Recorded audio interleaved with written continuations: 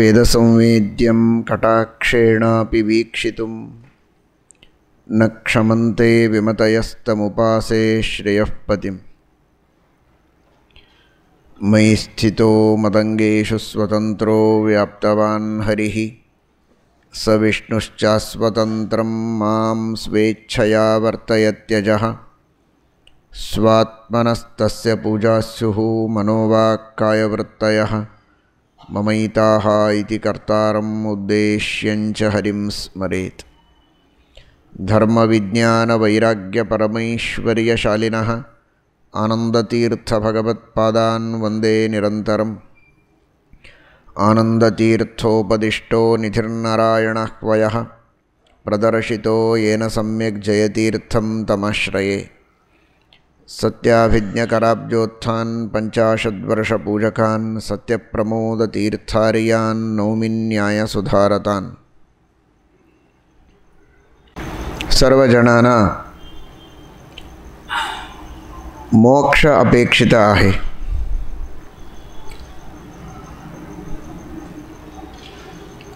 मोक्षाचा उपाय परमात्म्याचा अनुग्रहच आहे भगवंताचा परमानुग्रह मोक्षाला कारण म्हणून ठरलेला आहे। श्रीमद भगवद्गीतेमध्ये श्रीकृष्ण परमात्मा सांगतात, तत्प्रसादात पराम शांतिम स्थानं प्राप्स्यसि शाश्वतम। तत्प्रसादात। परमात्म्याच्या प्रसादाने मोक्ष आपण मिळवू शकतो म्हणून। मत्प्रसादात तरिष्यसी। दुसऱ्या ठिकाणी भगवद्गीतेमध्ये श्रीकृष्ण परमात्मा सांगतात, मत्प्रसादात तरिष्यसी। प्रसाद म्हणजे अनुग्रह। तीर्थप्रसाद म्हणतात ते प्रसाद वेगळं भगवंताच्या प्रस, प्रसादाने, नैवेद्याने, नैवेद्याच्या भक्षण केल्याने आपल्याला अंतःकरण शुद्धी होते, देहाची शुद्धी होते, ह्याच्यामध्ये संशय नाही, परंतु त्या प्रसादाने मोक्ष मिळत नाही. डायरेक्ट मोक्षासाठी परमात्म्याचा अनुग्रह पाहिजे. अनुग्रहाला प्रसाद म्हणतात. त्या अनुग्रहासाठी परमात्म्याच्या अपरोक्ष ज्ञान कारण आहे. साक्षात्कार. साक्षात्काराला अत्यंत परिपक्व असे भक्ती पाहिजे. भक् त्या भक्तीने प्रसाद मिळतो भक्तीला साक्षात्कार कारण आहे. साक्षात्कारासाठी पुन्हा भक्ती पाहिजे. ती भक्ती परिपक्व भक्ती आहे. परिपक्व भक्तीला ध्यान कारण आहे. ध्यानाला पक्व भक्ती कारण आहे. पक्व भक्तीला श्रवण आणि मनन. श्रवण श्रवण म्हणजे शास्त्राचे श्रवण. महाभारत भागवत वेद इत्यादी सच्छास्त्रांचे श्रवण. सच्छास्त्रामध्ये काय सांगितलेले आहे म्हणून गुरुच्या मुखाने उपदेशक्रमाने आपण ऐकून घेऊन शास्त्राचे ज्ञान प्राप्त करायचे आहे. ते श्रवण म्हणतात. मनन म्हणजे श्रवणाने जे ज्ञान प्राप्त होते, त्याच्याबद्दल दार्ढ्य युक्त्यनुसंधान म्हणतात संस्कृतमध्ये. म्हणजे अंग अंग्रेज़ी भाषेमध्ये लॉजिक म्हणतात. श्रवणाने आम्ही जे समजलेले आहे, त्याला युक्तीने लॉजिक माध्यमाने दृढ करून घेणे ह्याला मनन म्हणतात. काही लोक समजतात मनन म्हणजे रिपिटेशन श्रवण एकदा ऐकून घ्यायचं नंतर मनन म्हणजे घरी जाऊन रिपीट करायचं तेच. त्याला मनन असं काही लोक समजतात तसं नाही. मनन रिपिटेशन अवश्य करायचं परंतु मनन शब्दाचा अर्थ तो नाही. मनन शब्दाचा अर्थ दृढ करणे युक्तीच्या पायावर दृढ करणे हे मनन आहे. श्रवण आणि मनन केल्याने आपल्याला भगवंतावर पक्व भक्ती येते. पक्व भक्तीने आपण भगवंताचे निधिध्यासन, ध्यान, उपासना करू शकतो. उपासनाना, उपासनाने परिपक्व भक्ती, पक्व भक्ती येते. त्या परिपक्व भक्ती येते परिपक्व भक्तीने अपरोक्ष ज्ञान अपरोक्ष ज्ञानाने अतिपरिपक्व भक्ती सुपरलेटिव्ह डिग्री अतिपरिपक्व भक्तीने भगवंताचे अनुग्रह, अनुग्रहाने मोक्ष. अशी एक श्रेणी आहे, सोपान आहे, सोपानक्रम. ह्याच्यामध्ये उपासना जी आहे उपासना करताना भगवंताची उपासना करावी, कशा रीतीने करावी? सगुण उपासना करावी या निर्गुण उपासना करावी?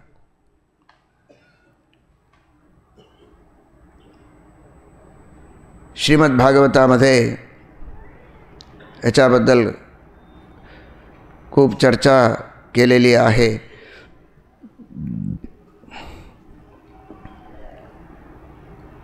शास्त्राचा निर्णय आहे.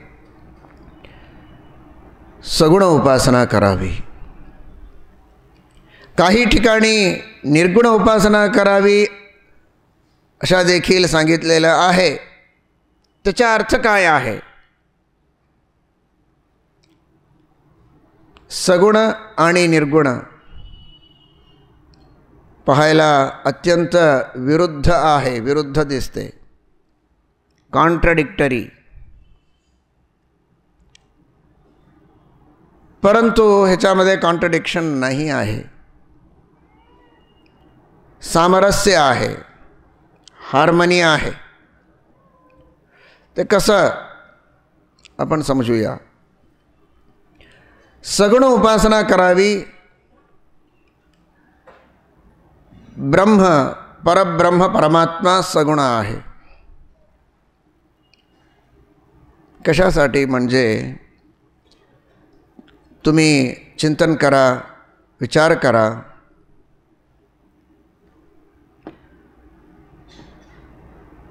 परमात्म्याला आपण मानतो का मानतो? कारण काय?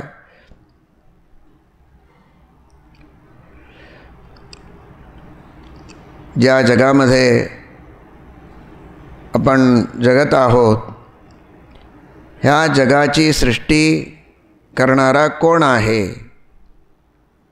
रक्षण करणारा कोण आहे? पालन करणारा कोण? आपल्याला सद्गती देणारा कोण? नदी समुद्र पर्वत नक्षत्र सूर्य चंद्र इत्यादी जे पदार्थ आपल्याला दिसतात त्यांची सृष्टी करणारा कोण आहे? अशा रीतीने आपण चिंतन करीत करीत तर एक लहान वस्तूला आपण घेतलं तरीसुद्धा त्याला एक निर्माण करता होतो, रक्षण करणारा होतो. तर एवढं अत्यंत विस्तृत ब्रह्मांडाला, सबंध प्रपंचाला एक निर्माणकर्ता अवश्य पाहिजे म्हणून आपण परमात्म्याला मानतो शास्त्र भगवंताबद्दल सांगते परमात्मा सर्वकर्ता आहे उपनिषद मध्ये आहे सही सर्वस्य करता ऋग्वेदामध्ये आहे एको देव द्यावा भूमी जनयन देव एकः एकच परमात्मा आहे तोच सबंध जगाची सृष्टी करतो म्हणून वेद, उपनिषद इत्यादीमध्ये. श्रीकृष्ण परमात्मा भगवद्गीतेमध्ये सुद्धा सांगितलेले आहे. अहम सर्वस्य प्रभव, मत्तः सर्व प्रवर्तते. अहम सर्वस्य प्रभव. सबंध जगाच्या सृष्टी करणारा मीच आहे म्हणून श्रीकृष्ण परमात्मा सांगतात. तर परमात्मा आहे. कशाला? सृष्टी करायला पालन करायला दुःखाच्या निवारण करायला सुख द्यायला भगवंत आहे. तर भगवंत कसा होऊ शकतो? एक स्वयंपाक करणारा आहे. जास्त काही नाही. जगाच्या सृष्टी करणाऱ्यानं सोडा. एक साधारण स्वयंपाक करणारा आहे. स्वयंपाक करणारा कसा आहे? माझ्या घरी एक आहे. तो कसा आहे? त्याला दिसत नाही. पाय नाही.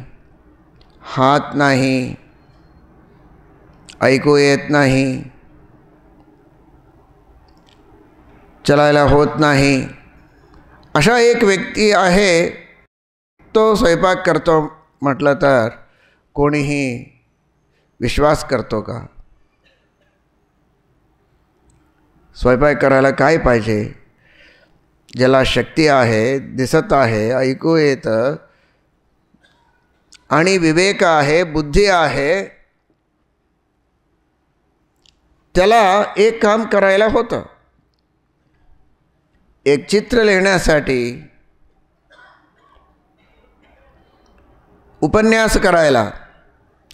ज्याला तोंड नाही जीव ध्वनी नाही, काही नाही, जीभ नाही तो उपन्यास करतो म्हटलं तर कसं?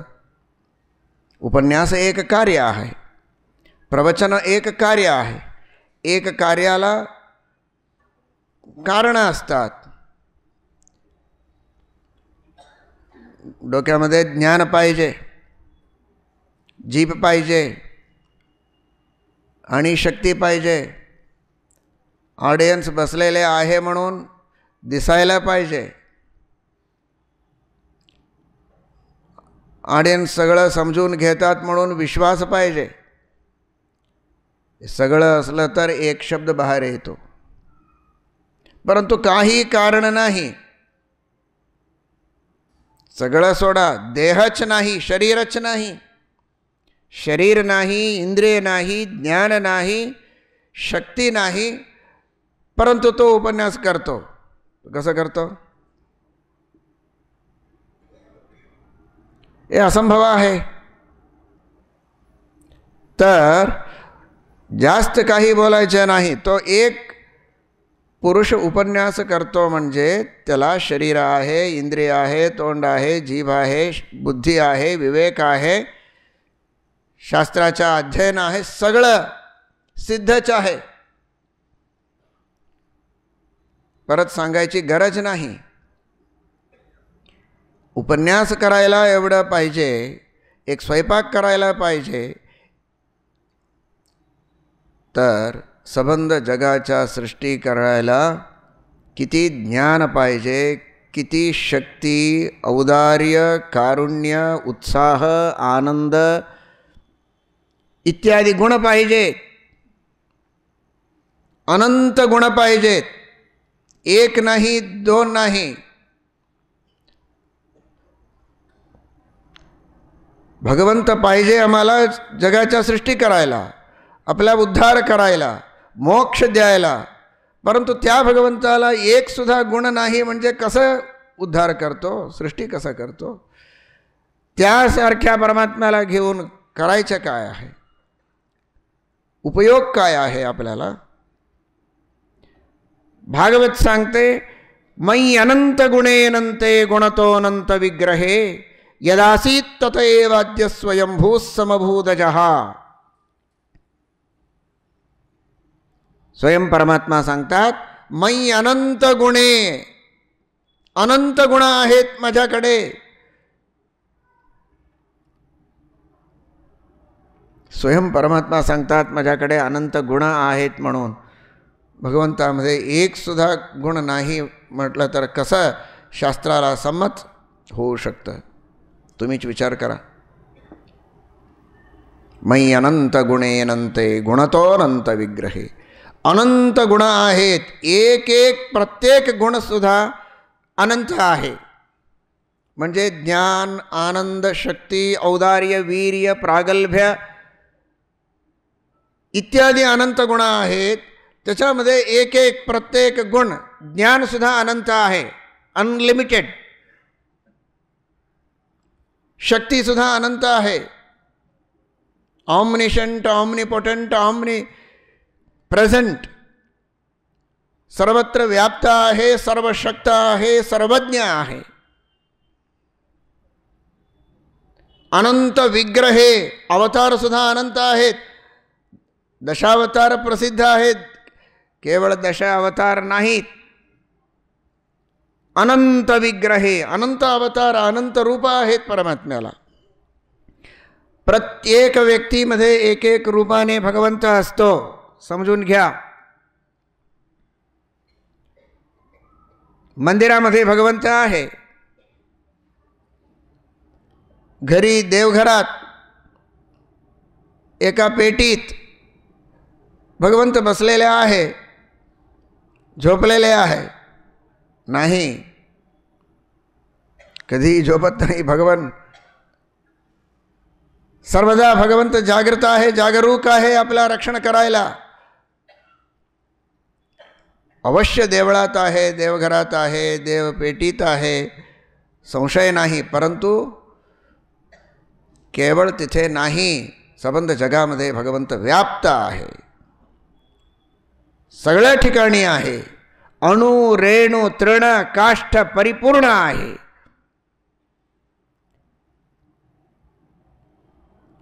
प्रल्हादाला हिरण्यकशपू विचारला कुठे आहे तुझा भगवंत? तेव्हा प्रल्हाद सांगितलं स सही सर्वत्र क्वासौ यदी स सर्वत्र. प्रल्हादाने उत्तर दिला स सर्वत्र सगळ्या ठिकाणी आहे कुठे नाही. परीक्षा करून घे. तेव्हा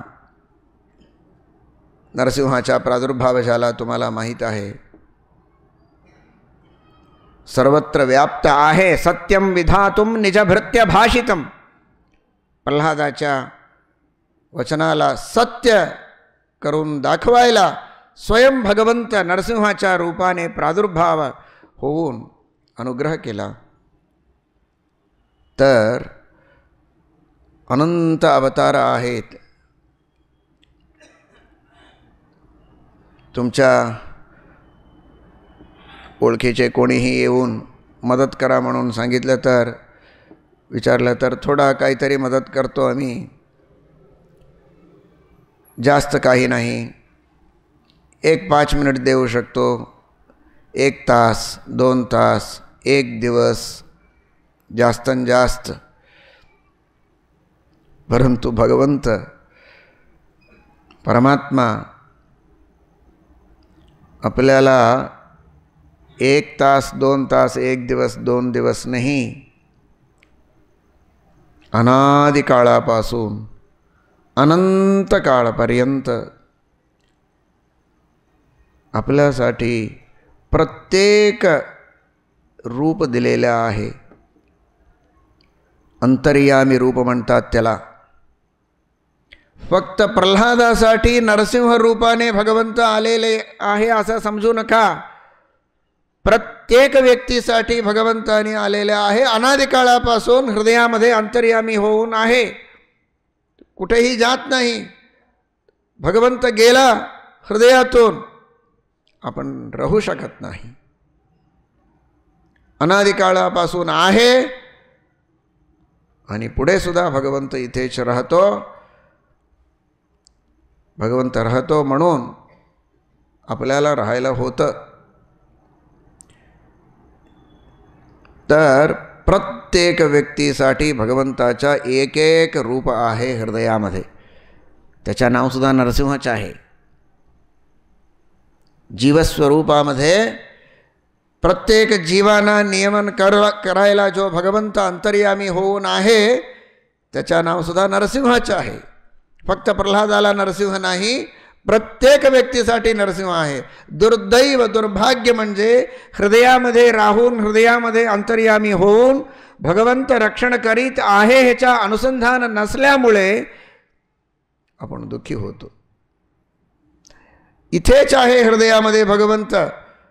त्याच्यावर विश्वास करून आपण ध्यान केलं, निधिध्यासन केलं तर आपल्याला भीती राहत नाही. हृदयामध्ये भीती शिरत नाही आपण निर्भीत होऊन। आनंदाचा अनुभव घेऊ शकतो।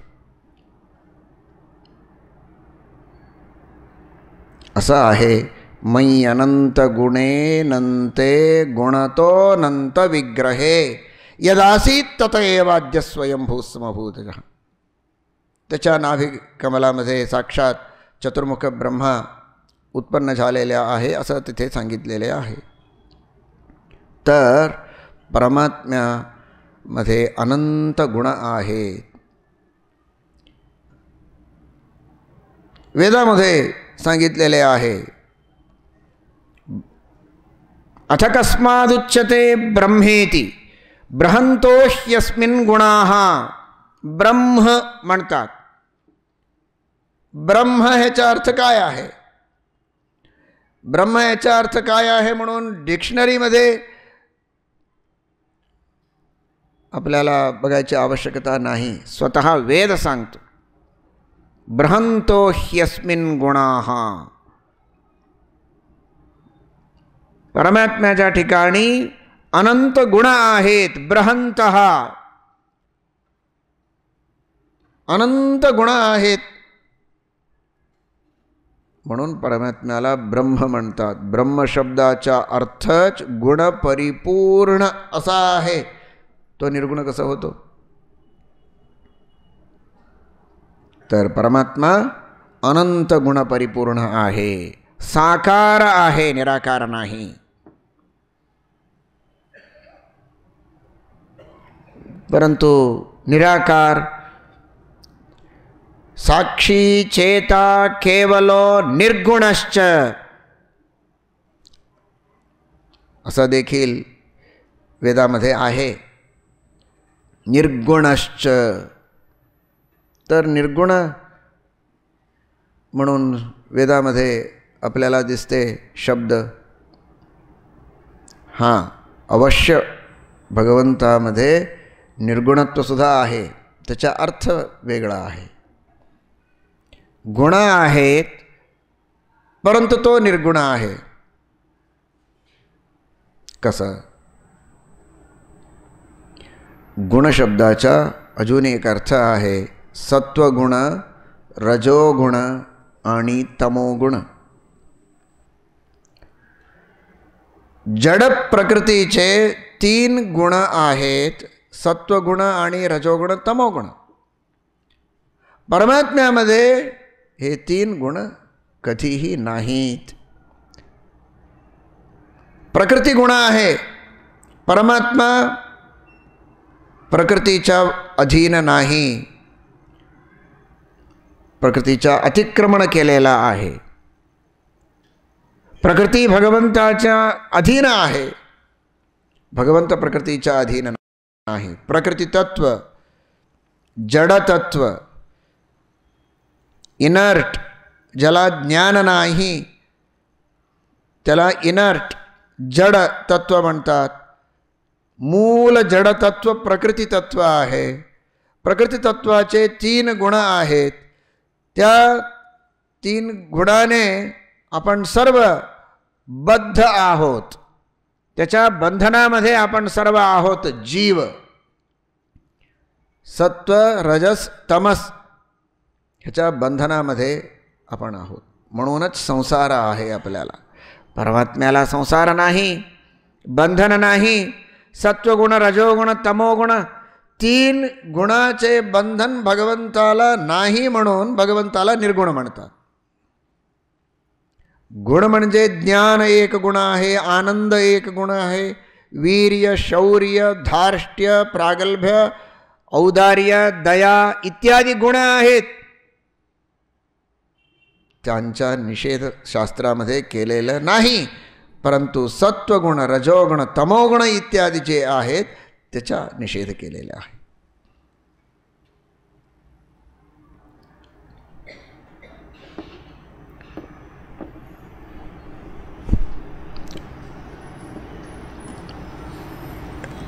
एका वराला शोधन करीत जातात. तो कसा आहे? कन्येसाठी. फार छान आहे. तर काहीतरी पितो का? काय पित नाही? पित नाही म्हणजे काय? त्याचा अर्थ काय? सांगा. दूध पित नाही? पाणी पित नाही असा अर्थ आहे का? तर काय अर्थ आहे? दारू पित नाही असा अर्थ आहे. सांगायची गरज नाही. पित नाही म्हणजे ज्याच्या पान निषिद्ध आहे त्याच्या पान नाही करतो असाच अर्थ आहे ना. ज्याच्या भक्षण निषिद्ध आहे त्याच्या भक्षण करत नाही खात नाही पित नाही फार चांगले खात नाही पित नाही तर कसं जगतं कसं? आहे कसं? जे निषिद्ध आहे त्याच्या भक्षण करत नाही जे निषिद्ध आहे त्याच्या पान करत नाही. असा अर्थ आहे विवेकी माणूस असा अर्थ समजून घेतो.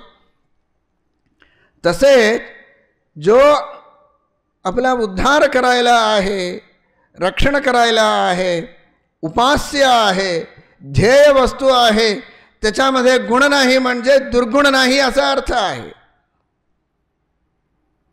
गुणच नाही असा अर्थ नाही. आकार नाही ह्याच्या सुद्धा असंच समजून घ्यायचं.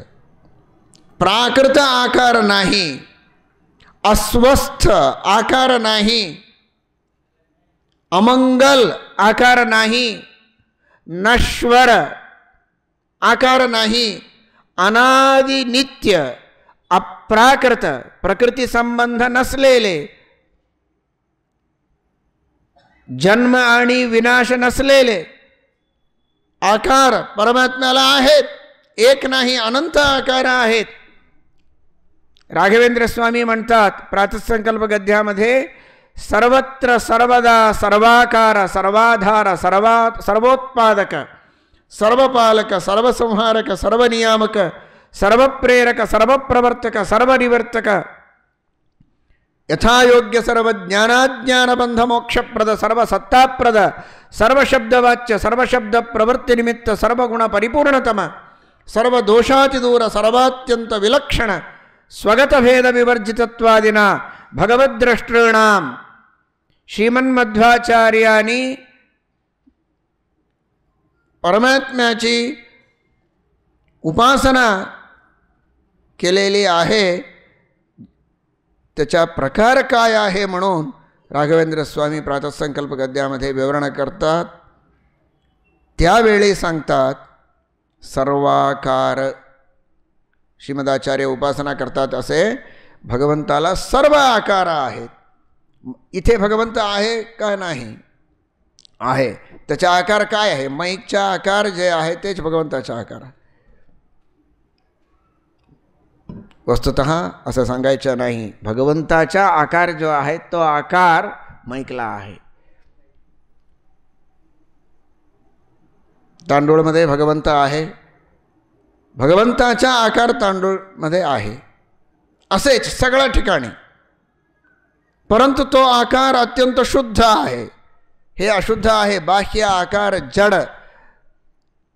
इथे आपल्याला जो आकार आढळतो हे अशुद्ध आहे, प्राकृत आहे, अज्ञानी आहे, जड आहे. परंतु भगवंत अप्राकृत आहे, सर्वज्ञ आहे, परंतु आकार परमात्म्याला सुद्धा आहे. विलक्षण आकार आहे.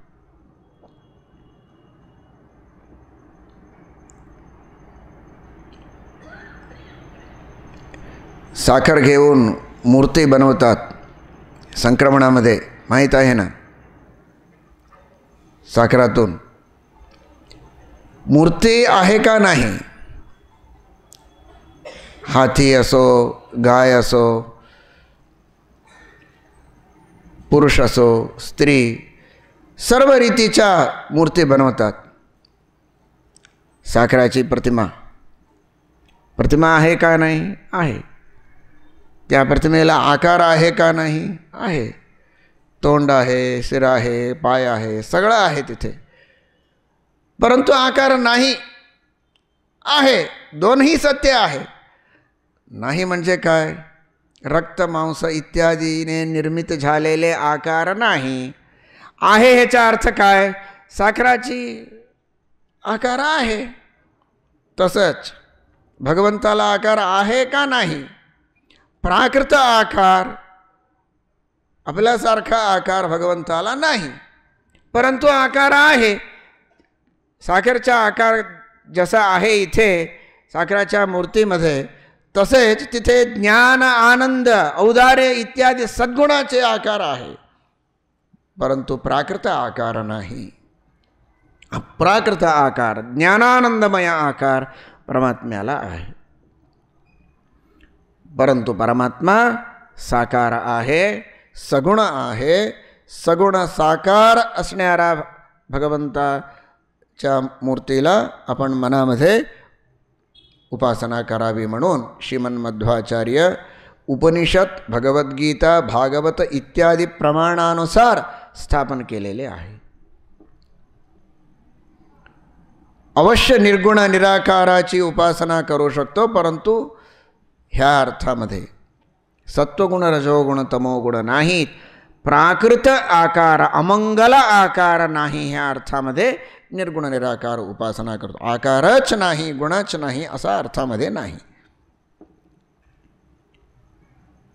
अशा रीतीने सगुण साकार उपासना करावी. एक एक गुणाची उपासना करायला आपल्याला खूप वेळ लागतं. ज्ञान. भगवंतामध्ये ज्ञान आहे म्हणजे फक्त ज्ञान आहे असं उपासना करायचं नाही. ज्ञान आहे ह्याच्याबद्दल थोडा विस्तृत रूपाने चिंतन करायचं. ज्ञान. किती ज्ञान आहे? कसं आहे भगवंताचे ज्ञान? आता मी सांगितलं एक स्वयंपाक करायला ज्ञान पाहिजे. उपन्यास करायला ज्ञान पाहिजे. बांधकाम करायला ज्ञान पाहिजे. तर संबंध जगाच्या निर्माण करायला केवढं ज्ञान पाहिजे तुम्हीच चिंतन करा. उहा करा. मध्वाचार्य सांगतात द्वादश स्तोत्रामध्ये स्वमतिप्रभवं जगदस्य यतः परबोधतनुञ्च ततः खपतिं स्वमतिप्रभवं जगदस्य यतः। दुसऱ्याने सांगितल्याप्रमाणे भगवंत जगाची सृष्टी केलेली नाही।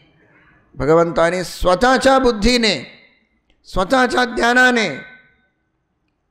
स्वमतिप्रभवं जगदस्य यत, जगाची सृष्टी भगवंतानी केलेल्या केलेली आहे म्हणून परम परमात्म्याला ज्ञान थोडं नाही, अल्पस्वल्प नाही, अनंत अपरिमित ज्ञान परमात्म्यामध्ये आहे। एक एक व्यक्तीसुद्धा अनंत कर्म केलेले आहे। प्रत्येक व्यक्तीने अनादिकाळापासून आत्तापर्यंत अनंत कर्मे केलेली आहे त्या अनंत कर्मांना फल देणारा भगवंत आहे. वायुदेवाच्या द्वारा. तर ज्ञान अनंत झालं ज्ञान. एक एक व्यक्तीच्या कर्मे अनंत आहेत. ज्ञान भगवंताला आहे.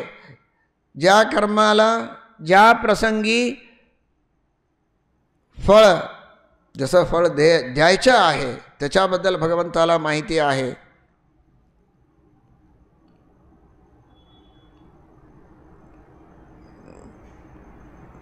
ऑफिसमध्ये कंपनीमध्ये या कोर्टमध्ये ह्याच्या अपराध अपराध हा अपराध आहे ह्या अपराधाला ही शिक्षा द्यावी ठरवतात. एक चांगलं काम केलं तर त्याला ए असं एक पुरस्कार, असं असते. परंतु इथे एक नाही, दोन नाही, अनंत कर्मे आहे त्या अनंत कर्मामध्ये पुण्यसुद्धा आहे, पापसुद्धा आहे. पुण्याईला चांगलं फल द्यायचं आहे, बापाला वाईट फल द्यायचं आहे. तर अनंत कर्माचा ज्ञान, अनंत कर्माच्या पक्वताच्या अवस्थेचा ज्ञान त्याप्रमाणे परमात्मा अनंत जीवांना फळ देतो म्हणजे त्याचा ज्ञान अनंत आहे. असेच आनंद.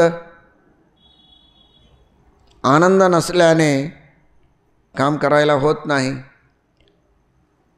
जो पुरुष स्वयं दुःखी आहे तो दुसऱ्यांचा उद्धार करायला समर्थ होत नाही.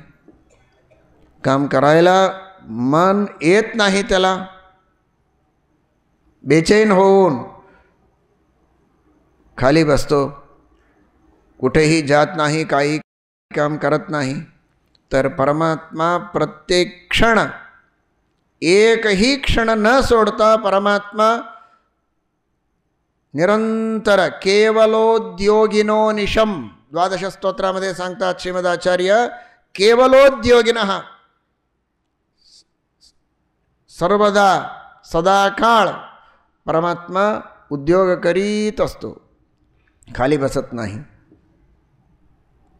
भगवंत खाली बसला तर सर्व जीवांची अवस्था संपली। कधीही खाली बसत नाही। सर्वदा उद्योग, सर्वदा कार्य, कार्यामध्ये व्यस्त असतो। परमात्मा अत्यंत उत्साहाने कार्य करीत असतो। तर परमात्म्यामध्ये आनंद किती असेल, उहा करू शकत नाही आपण. अनंत आनंद आहे. शक्ती आहे, शक्ती असेल, ज्ञान असेल, परंतु उपकार करायची करायचं असं ग गरज आहे का? स्वतंत्र आहे तो. कोणीही विचार करणारा नाही. परमात्म्याला आज्ञा करणारा कोणीही नाही. काम केलं तर त्याला फल देणारा, काम नाही केलं, तर शिक्षा देणारा कोणीही आहे का? नाही. तर कशाला करायचं? परंतु कधीही परमात्मा उदासीन बसत नाही. अत्यंत प्रेमाने, दयेने, कारुण्याने परमात्मा सर्व जीवांना उपकार करीत असतो. म्हणजे कारुण्य किती आहे? अशा रीतीने एक एक गुणाबद्दल आपण विचार करीत करीत करीत।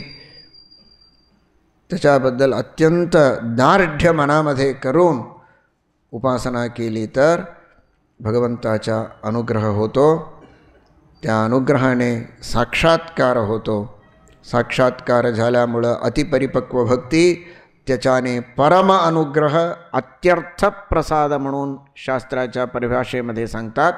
त्या अत्यर्थ प्रसादाने मोक्ष आपल्याला मिळतो म्हणून श्रीमन मध्वाचार्यांनी सांगितलेले आहे. तुम्ही सर्व गायत्री जप करताना, देवाला नमस्कार करताना, प्रदक्षिणा करताना एक एक गुणाचा अनुसंधान करीत करीत, अत्यंत भक्तिभावनेने सेवा करा. ध्यान उपासना इत्यादी करा त्याच्याने भगवंताचा अनुग्रह प्राप्त करून घ्या हरये नम। श्रीकृष्णार्पणमस्तु।